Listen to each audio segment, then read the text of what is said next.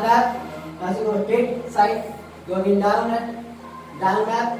Hit left. Again four time मैंने count करेंगे. One, two, three. One, two, three. Na na na na na na. Four time हो. यहाँ से you right leg cross.